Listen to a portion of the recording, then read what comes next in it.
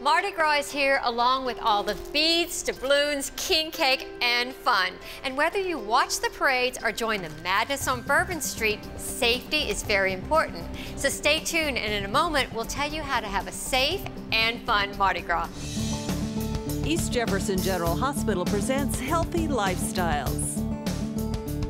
And welcome to Healthy Lifestyles. I'm Ramona Tyler and my guest today is Mike Guillot, Director of Emergency Medical Services at East Jefferson General Hospital. Welcome.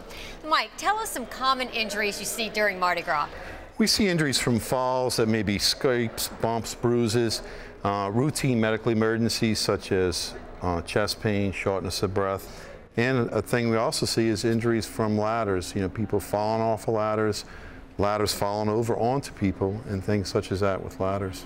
And now speaking of ladders, what is the rule regarding ladders during the parades? Ladders need to be as high as they are off the parade route. If you have a six foot ladder, for example, it needs to be six feet off the parade route. Now people are always remembering their coolers and their food, but what about medical information? Medical information is vital, very important for the paramedics to have your name, next of kin, list of medications, possible medical conditions that you have.